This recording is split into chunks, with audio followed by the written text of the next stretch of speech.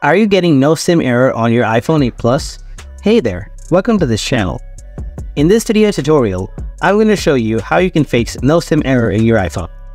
So without wasting any more time, let's get started. Solution 1. Enable and disable airplane mode.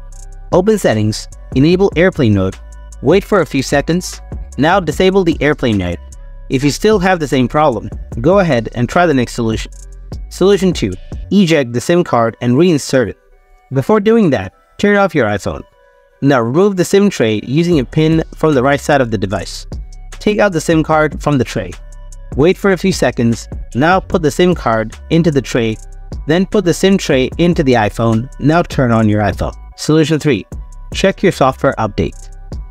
Before moving on, make sure that your Wi-Fi or internet connection is on.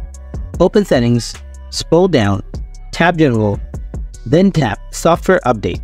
If you see a software update is available, then update your iPhone software to fix this problem. Solution 4. Reset network settings. Open settings, scroll down, tap general, scroll down, then tap transfer reset iPhone. After that, tap reset. Now tap reset network settings. Then enter the passcode of your iPhone if it wants. Tap reset network settings again.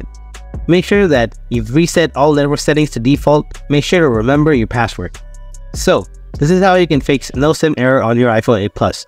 Hope you found this video helpful. If you did, then drop a like and don't forget to subscribe to our channel. And if you have any kind of questions, then please ask them in the comment section below. Thanks for watching.